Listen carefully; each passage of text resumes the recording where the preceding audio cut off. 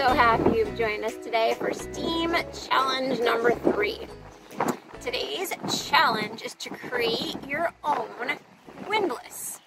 And windlass, we'll start with a vocabulary lesson here, is a type of winch used especially on ships to hoist anchors and haul on mooring lines, and especially formerly to lower buckets and hoist them up from wells.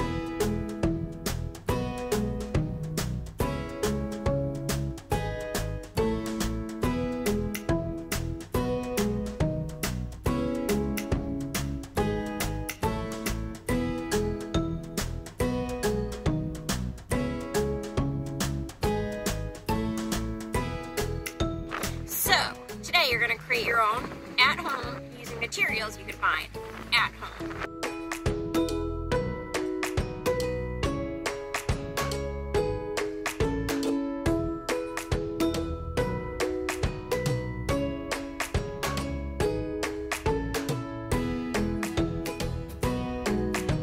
Hey everybody, so for your next step, or first step I should say, you're going to take your two tubes and them.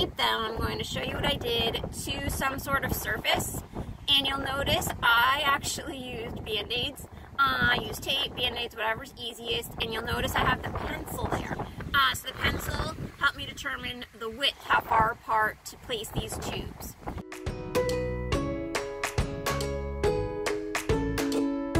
You're going to cut slits here, here, over here, and here and then onto tube number two. And the slits will be wide enough so that your pencil or straw can rest right inside.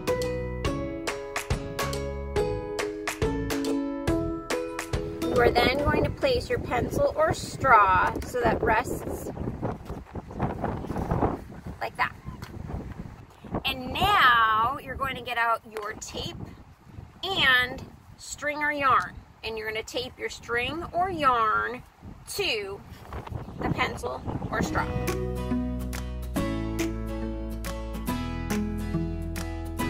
Now you should have taped uh, your string or yarn to your pencil or straw. And now I have my yogurt container.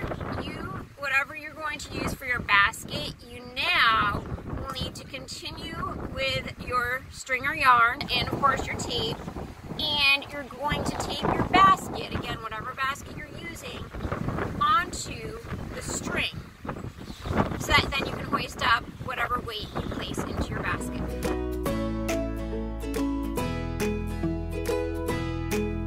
Welcome back everybody. I hope you were able to successfully tape your string to your basket. I have done so here with my yogurt, which actually I have placed some uh, marbles into my uh, yogurt basket. And so now you can go ahead and use your windlass.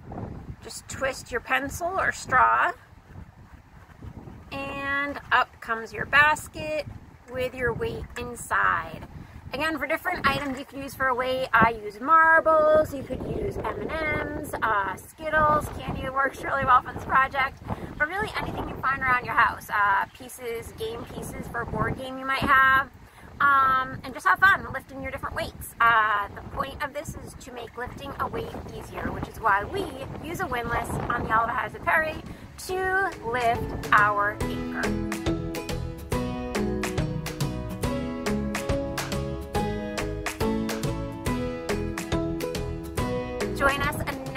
Time for uh, STEAM lesson number four, or challenge number four.